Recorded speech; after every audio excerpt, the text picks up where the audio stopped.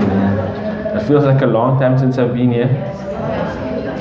But then I realized just two weeks, eh? Is it? Anyways, we're nearing the month of Ramadan. May Allah subhanahu wa ta'ala bless us in this time. It's a time of renewing our intentions, renewing our zeal, and uh, very importantly, renewing our connection with the Quran. Ramadan is the month of fasting, yes. It's a month of training our nafs. It's a month of Qiyamul Layl. Uh, but it has a special connection with the, with the Quran. Uh, as the first thing Allah subhanahu wa ta'ala tells us about the month of Ramadan in the Quran is the fact that the, the Quran was revealed in Shahru Ramadan alladhi unzila fihi al-Quran. The first thing when Allah subhanahu wa ta'ala picks up the discussion about Ramadan, Allah tells us that uh, the Quran was revealed in it as if the month attained its sanctity through the revelation of the Quran in it. Um, right. Well, that's in mind. We continue with the surah that we were busy with. That was Surah Al Kahf. We ended on verse number 6. Alright. Uh, 5. Yeah, so we'll just continue from there. We'll continue. Allah subhanahu wa ta'ala says, بعد أعوذ بالله من الشيطان الرجيم. بسم الله الرحمن الرحيم. الحمد لله الذي أنزل على عبده الكتاب ولم يجعل له عوجا. قيما لينذر بأسا شديدا. قيما لينذر بأسا شديدا من لدنه ويبشر المؤمنين الذين يعملون الصالحات أن لهم أجرا حسنا. ماكثين فيه أبدا. وينذر الذين قالوا اتخذ الله ولدا. ما لهم به من علم ولا لآبائهم. كبرت كلمة تخرج من أفواههم إن يقولون إلا كذبا Is that ended? I'm hearing like yes and no. Yes. Alright, we ended already. We will start at verse number 6. Um, I think everybody will remember the, the context in which we, or the context of the surah which we discussed, and the initial points on the structure of the surah, right? Surah is about fitan and our guidance through that fitan. Uh, the, the surah starts off with the mention of Allah, Rasulullah, the Quran, and then speaks about um, the purpose of the Quran being there to give us good news and as a warning. A warning to do what? To believe and do righteous deeds. Right? And that will give us the abode of either Jannah uh, or Jahannam. Allah subhanahu wa ta'ala doesn't speak really much about Jannah and Jahannam here. He just mentions to give warning and to give glad tidings. And we understand from that glad tidings that there is a reward at the end of belief and righteous deeds. But then Allah subhanahu wa ta'ala goes to speak about who are those that the Quran warns as well. وَيُنذِرَ الَّذِينَ قَالُوا اتَّخَذَ اللَّهُ وَلَدًا مَا لَهُم بِهِ مِنْ عِلْمٍ وَلَا لِآبَائِهِمْ The Quran is there as well to warn those who uh, who say that Allah subhanahu wa ta'ala has taken a son or a child ما لهم به من علم ولا لآبائهم Neither they nor their fathers have any knowledge of what they're saying كبرت كلمة تخرج من أفواههم It is a grave utterance that has exited from their mouths إن يقولون إلا كذبا They are saying nothing but but lies Just before we move on, you'll see that Allah subhanahu wa ta'ala, uh, after introducing the Quran, Allah subhanahu wa ta'ala mentions two things about it. The first one, actually, first Allah describes it by saying that it's qayyiman, upright, and all that stuff. But then there's two juxtaposing qualities that Allah subhanahu wa ta'ala mentions about it. One, it warns. The second, it brings good news. Right? And then Allah subhanahu wa ta'ala details a little bit about who it gives good news to. Alladina aman or al-mu'minun alladhina ya'maluna salihat wal-mu'minina and then Allah goes on to speak about the warning. And then the warning is for. Allah subhanahu wa ta'ala specifically mentions those people who claim that Allah had a Allah had a son. Uh, why over there? Why wasn't exactly you know just the disbelievers and the um, the disbelievers and those who do bad deeds which would have been the exact opposite of المؤمنين الذين يعملون الصالحات because herein Allah subhanahu wa ta'ala is mentioning uh, Allah subhanahu wa ta'ala is mentioning that they ascribed a deficiency to Allah subhanahu wa ta'ala even despite the fact that they didn't deny him in totality right? those who claim that Allah subhanahu wa ta'ala had a son had to believe that there was an Allah to start with right? So Allah subhanahu wa ta'ala, as opposed to saying just the disbelievers, Allah subhanahu wa ta'ala says, those who ascribe the child to Allah, ascribe the son to Allah subhanahu wa ta'ala, understanding therefrom that the Quran warns all of those people that ascribe any deficiency to Allah. But then Allah subhanahu wa ta'ala goes on to speak about Rasulullah again in relation to this life of ours. So what does Allah subhanahu wa ta'ala say about him? فلعلك باخع نفسك فلعلك what does لعل uh, لعل means perhaps perhaps um, without the lam at the beginning it's just عله then it uh, then it means uh, means like a reason or something which we call that other type of lam lam ta'lil when it means so that but this la'alla is one of the sisters of inna. You know a little bit about inna? What do you know about inna? It comes at the beginning of a, a nominal sentence, right? And what does it do? It has a khabar of inna and a, sorry, rather ism of inna and a khabar of inna. You know that stuff? Okay. Uh, anyways, you know what kana? You didn't do kana. No, this is of Kana. Okay. So basically, if you want to, I'm not going to go into that now, but what I'll tell you is that la'alla works the same like inna. Inna has sisters inna, anna, ka'anna, lakinna, layta, la'alla. Um, they work the same. Both of them have a, a ism and a khabar. Same like kana. Have a ism and a khabar. The only thing is between kana and its sisters and inna and its sisters, the ism and the khabar, the hals are opposite. Let me just tell you quickly. I'll leave it now. فَلَعَلَّكَ Allah subhanahu wa ta'ala says, so perhaps you, sometimes la'alla, sometimes la'alla has a meaning of hope. Um, like for example, I say, you know, perhaps he'll do that for me.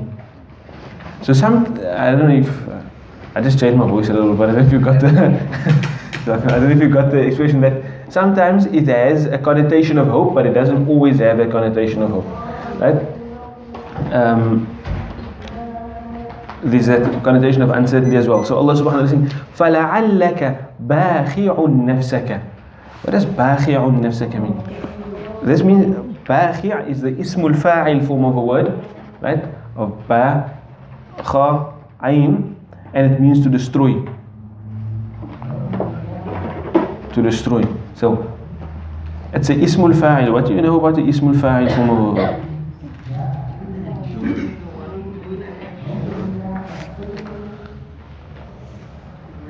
It's an active particle, right? But sometimes we use it as a verb. Isn't it? Sometimes we have a ismul fa'il there, but the meaning of a verb is conveyed, such that you can still. What do you do when you look for when you have a fi'l? You look for a right. You look. You have the fi'l, the fa'il, and the maf'ul. You look for all of those things. Now, sometimes when you have an ismul fa'il, then it can also have a maf'ul. You don't have to look for the fa'il because you're already using the ismul fa'il to indicate that whoever the ismul fa'il is referring to is the fa'il, but it can also have a maf'ul. So here the word uh, which comes from bakha'a, means to like to kill oneself, to destroy oneself out of anger or grief or sadness usually. it has a fa'il, sorry, it has a maf'ul in the sentence. سواء اسم مفعول أوكي يو فيرست تامي ذا كونستراكشن باخع نفسك وات كان كونستراكشنيزم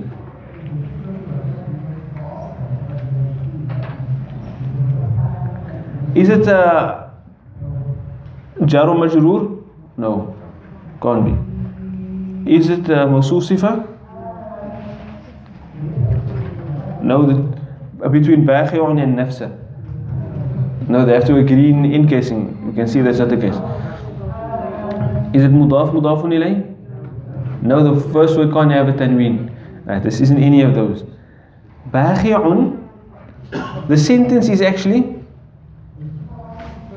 فلعلك باخع uh, to explain to you this I actually have to tell you a little bit about لعل okay so here it goes Inna and its sisters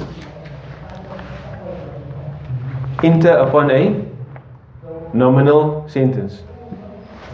A jumla what's a nominal sentence other word jumla? Ismiya. What are the two parts of a jumla ismiya?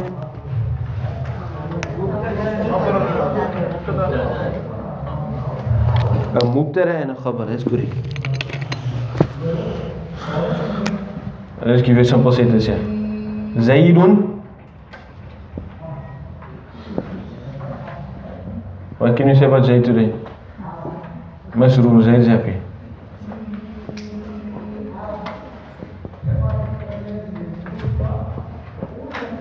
رايت زيد مسرور that means زيد is happy.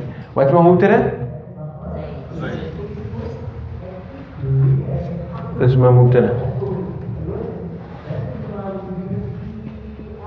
واسمه خبر؟ مسرورا okay now what I can do is I can put the inna before this I told you a inna comes before a jumla ismiya right why I'm using inna here despite the fact that we have la'alla there is because la'alla works exactly the same way like inna but in terms of the teaching of Arabic inna is like the reference point and then we just say inna and its sisters so other words that work like inna. Then what happens to the sentence is, I still have my mubtada there. Yeah, we're gonna get there. And I have my khabar. But what happens is, the mubtada gets put into nasb. Ah. And the khabar stays in in raf. So what does it say now? Inna Zaidan masrurun. Inna Zaidan masrurun. That's how the grammar of to to indicate to you that this word here now is what we call the ism of inna. So it's put into nas to indicate that it's the ism of inna. What is the ism of inna? The subject of a sentence that starts with inna. And it's directly in place of a mubtada. And this one, I call this one the khabar of inna.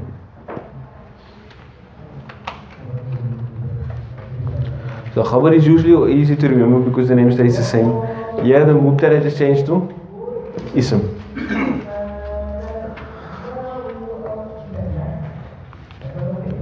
Sometimes when sentences are more complex, yeah, it's very easy. You may think they could have just left it inna zaidun. No, but sentences get more complex. Sometimes you have an inna followed by a kana later in the sentence, and then you need to distinguish between uh, things. So that helps you identify. okay. So, so basically, in terms of structure, what does it do? When inna comes before a sentence, inna or one of its sisters comes at the beginning of a sentence, what does it do? The mubtada changes to nasb. The khabar remains ra. Okay. So what are those sisters of inna? Inna, anna, كأن inna, anna. كأن لكن ليت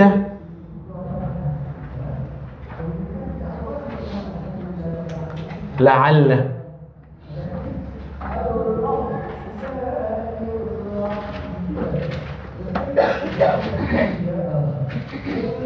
إن أن كأن لكن ليت لعل all of these words have meanings I to focus on them now they have tons of meanings also at times.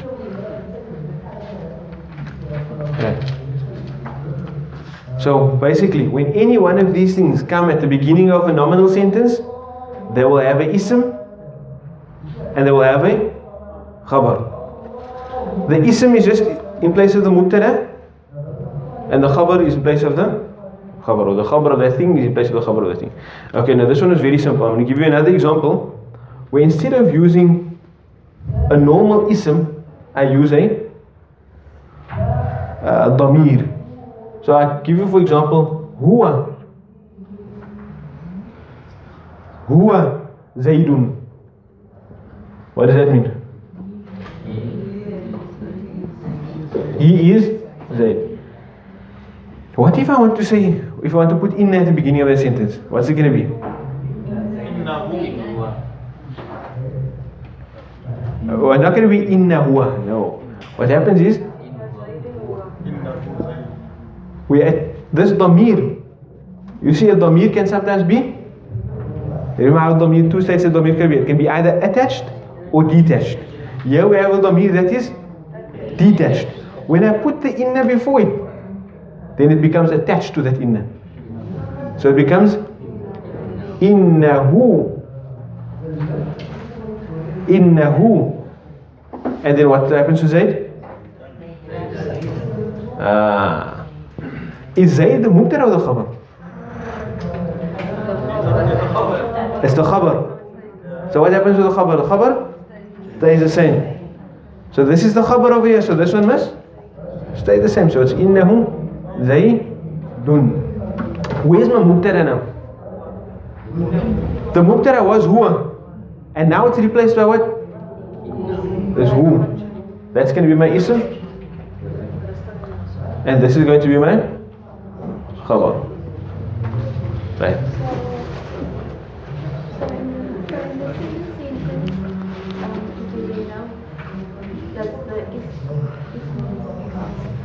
Ismu inna? No. No, no. No. The mubtada. The mubtada was huwa ah? Yeah the mubtada is who? It's the same thing. Huwa and who is the same thing? Yeah it's just detached. Yeah it's attached. Yes. Yeah it's called the mubtada Yeah it's called ismu inna. That's it. You may say a damir is attached, whatever. That's just the type of word that it is. That's not the function that is playing in the sentence. Right? For example, yeah, I have the word bakhi'un. It's a ismul fa'il, but that just tells me the type of word that it is. It doesn't tell me what function is playing in the sentence.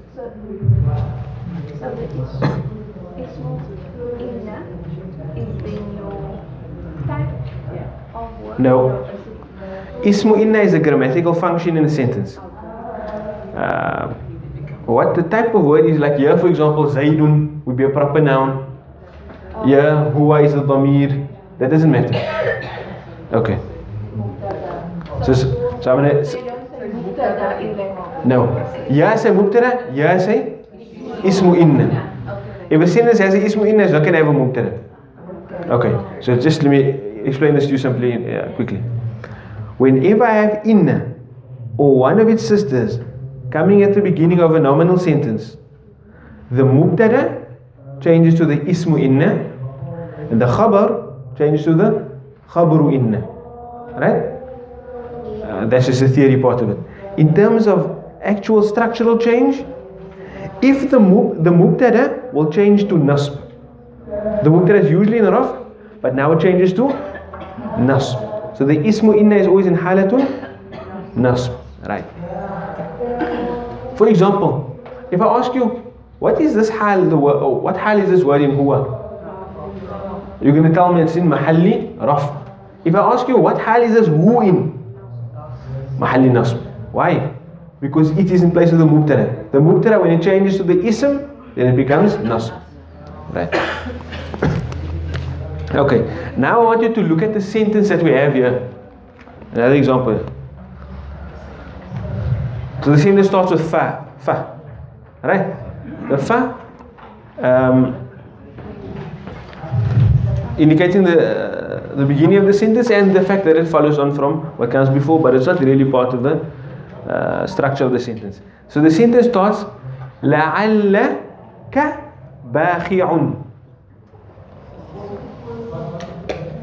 Now tell me.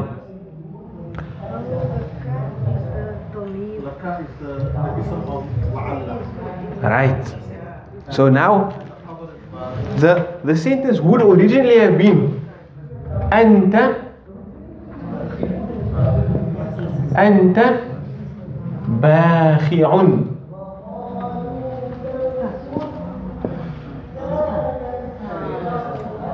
Right?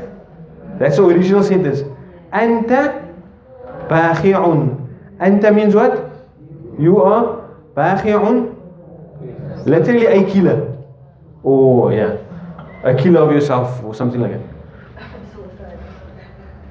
So now, okay. So now when we change this, and I put la at the beginning of the sentence, it's going to be not la'alla anta. What do we replace anta with? Ka. That's why it's important to know the damirs in the different forms, when it's detached, when it's attached. So instead of being anta, it becomes la'alla ka. And then ba'athon stays باخع. Right. Now tell me. Here we have la'alla, right? One of the sisters. We need to have an ism of la'alla now. So what's the ism of la'alla? The ka. What's the khabar of la'alla? باخع. What hal is this ka in?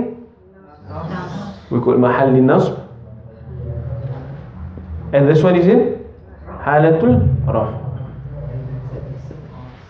That's the ism, Ism of la'alla, khabar of la'alla. Finished. Okay. But that's not going to convey to us a full meaning. فَلَعَلَّكَ بَاخِعٌ So there's a number of things that's attached to that word باخِعٌ That's actually the, the complete sentence. That's my ism, my khabar, or my mubtada, my khabar. Equivalent of my mubtada and my khabar. But sometimes the sentence isn't just as simple as a mubtada and a khabar. Sometimes you have a mubtada and the khabar is a fi'l. And then there'll be a fa'il attached to it and a maf'ul attached to it and all of that stuff. Isn't it so? You can have a simple khabar which is just a single noun, or you can have a khabar that's a, uh, a, a majroor. You can have a khabar that's a mawsoof sifa. You can have a khabar that's another sentence in and of itself, a jumla fi'aliyah in and of itself. Isn't that so? Right. So here in this case, we have the khabar that is a ismul fa'il. Right? But we know that a ismul fa'il, this you must note, if you haven't noted it before, a ismul fa'il can play the role of a verb. What do I mean by that? A ismul fa'il can have a maf'ul. So if we look here, who is it that Allah is saying, perhaps you are a killer of who? Or you killed who? You will and when we use the ismul fa'il, it usually we understand it as a future tense verb. So perhaps you will kill. You will kill who? Nafsa. Nafsaka. Nafsaka means what? Yourself. The fa'il or the maf'ul there is nafsa.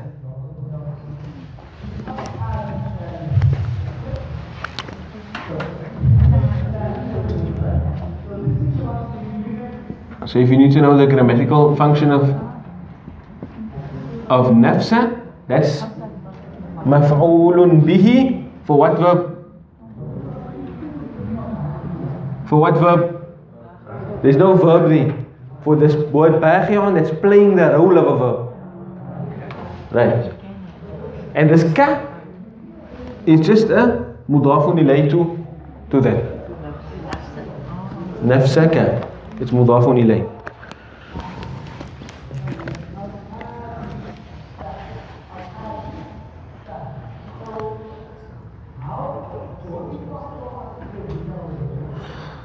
فلعلك باخع نفسك So perhaps you will destroy yourself. Now the sentence doesn't end there. Still, the, you see after we had the mubtara and the khabar, there's just a lot of things added to the sentence. Right? To convey the full meaning. So perhaps you will destroy yourself على آثارهم What's it على حرف الجر So whatever follows it's going to be اسم المجرور So what's the اسم المجرور there? آثاري And the him? Yes, it's a dhamir. That tell, dhamir tells me the type of word that it is, but what function is it playing in the sentence? It's attached to a It's a dhamir that's attached to a ism. Because we have a harful jar and then you have what after harful jar? Ismul majroor. That first part of it tells you what type of word it is. It's an ism. So when you have a dhamir attached to an ism, what kind of construction do we have? Mudaf, mudaf ilayh, always. Right. So what does it mean? So perhaps you will destroy yourself على آثارهم Up- literally it means what? Upon their footsteps. Athar is a trace or footstep.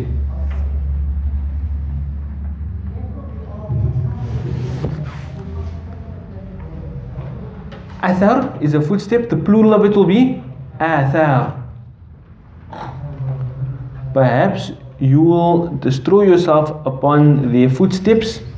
We're going to come to its figurative meaning in a moment. In lam yu'minu bihadha al-hadithi asafan. Now I want you to do something clear. Uh, unfortunately the screen is not up. Just put a comma before the in.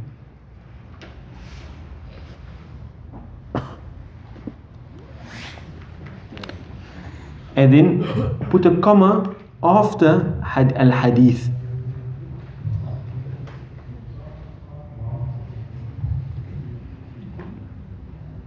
You got it? So now, what I want you to do is understand that as an extra part to the sentence. And how the sentence, just for, in terms of understanding, we understand فَلَعَلَّكَ بَاخِعٌ نَفْسَكَ عَلَى آثَارِهِمْ asafan. That's obviously not what the verse is saying, but the asafan is connected to that part of the sentence. So what does it mean now? What does asaf mean? Sadness, grief. So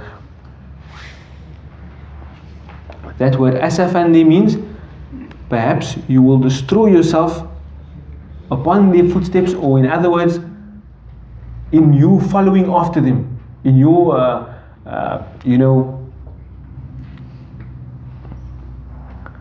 following after them basically to get them to guidance.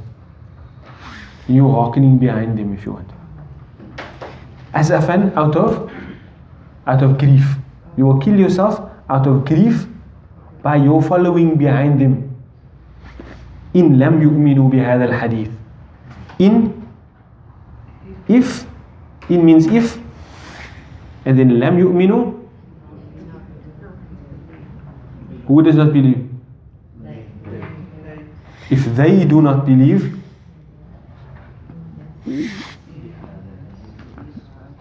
if they do not believe we know the word uh, what amana yu'minu is used with the harf bi where the bi comes on the on the maf'ul of it so what does it mean here in lam yu'minu if they do not believe bi in هذا الحديث هذا الحديث means what the speech بهذا الحديث if they do not believe in this speech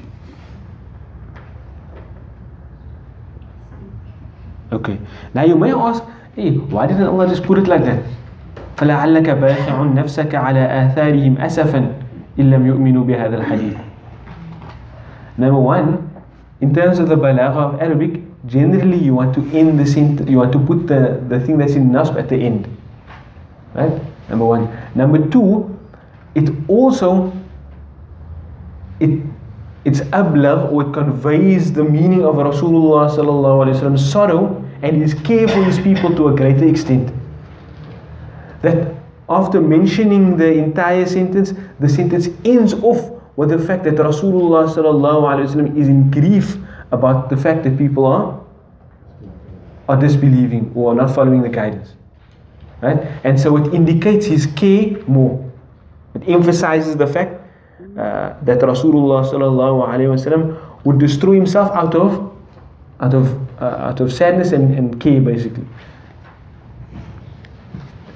so فلعلك باخع نفسك على آثارهم إن لم يؤمنوا بهذا الحديث Asafan.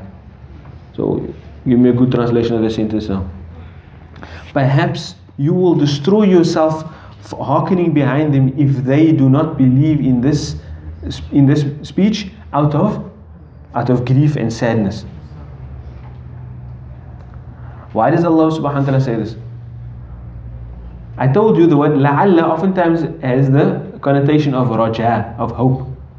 Right? But here it's not that Allah subhanahu wa ta'ala is hoping that Rasulullah destroys himself. No, certainly not.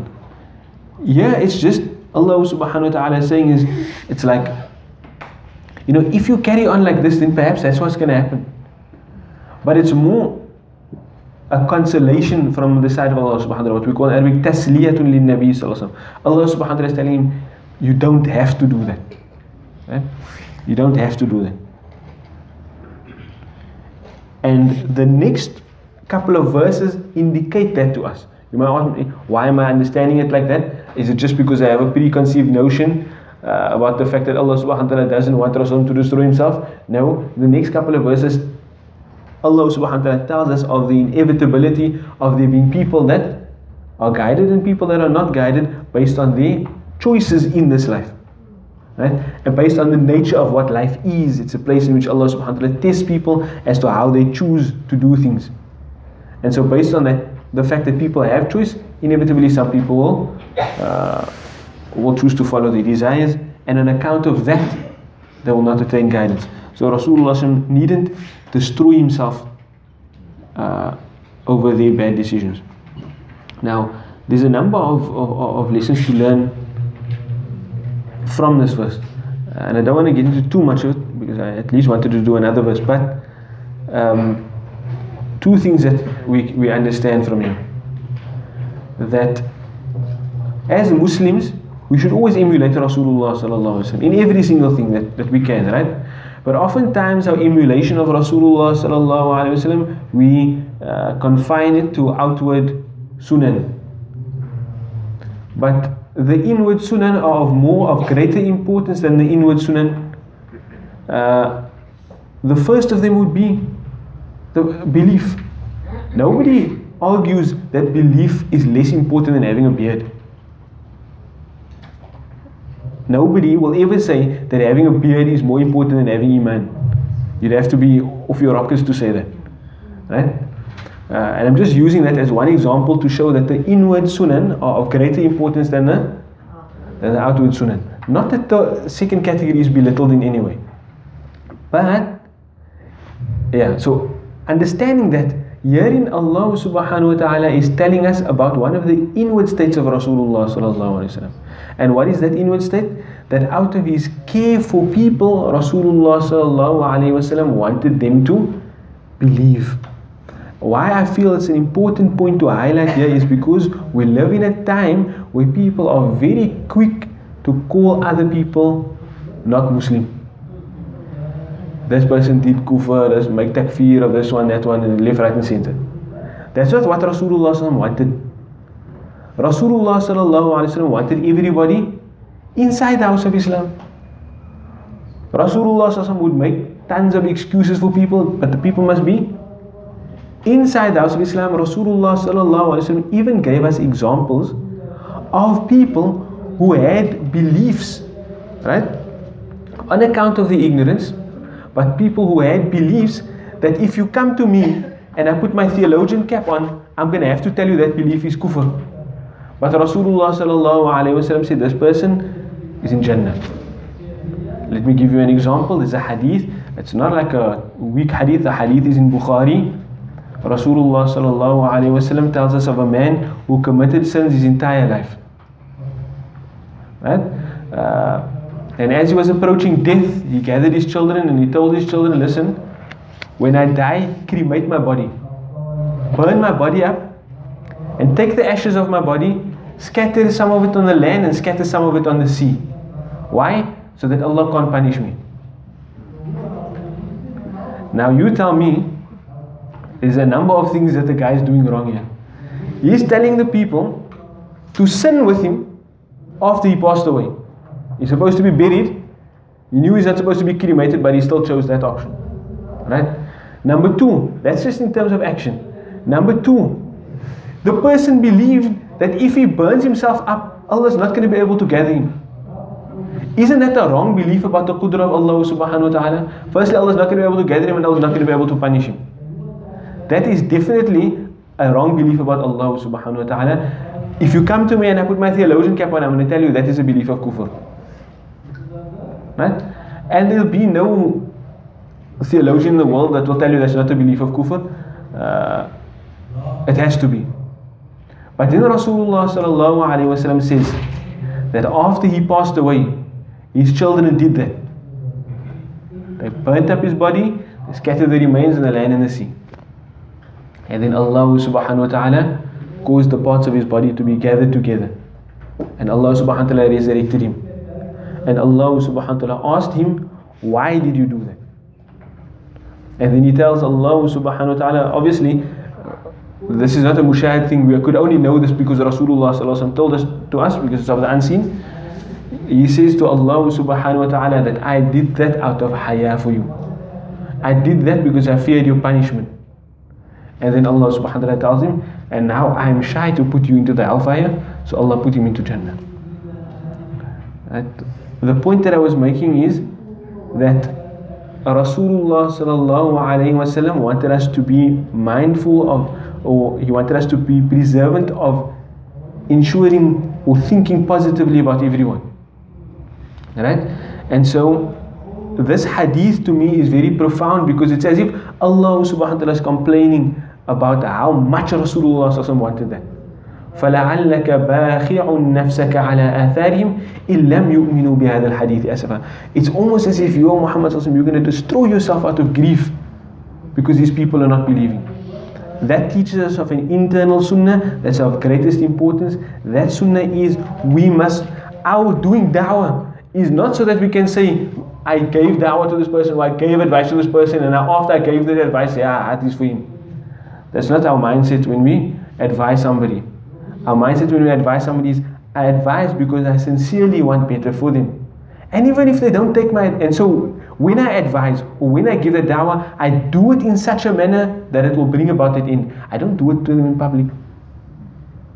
I don't do it to them when it's going to belittle them. Or I don't uh, convey the message of Islam in such a way that it's gonna that I know it's gonna cause the person to uh, react with opposition. No, my objective is not to do the action. My objective is to attain the goal, and that is that the person be uh, guided. And it's the absence of that that causes sadness. It's the absence of that that causes sadness. The absence of the person not attaining uh, guidance. But that doesn't mean that after, because of my sadness now, I start acting uh, rashly towards people. No. If you if you truly want to remove that sadness, then then you act in such a way that you actually achieve the goal. Try in a different way. Try in a more wise way. Use different avenues uh, to convey the message, etc. But for me, this this one verse here embodies a very profound internal sunnah of Rasulullah sallallahu wasallam that's imperative of us to imbibe within ourselves, and that is that we have care and desire for goodness for everyone to such an extent that when we see uh, that not being fulfilled, that it actually saddens us to some degree. Let may Allah subhanahu wa ta'ala guide us. Uh, our time is up, so we end there for now. Continue next week inshallah. وجزاكم الله خير وآخر دعوانا الحمد لله رب العالمين. السلام عليكم ورحمة الله وبركاته.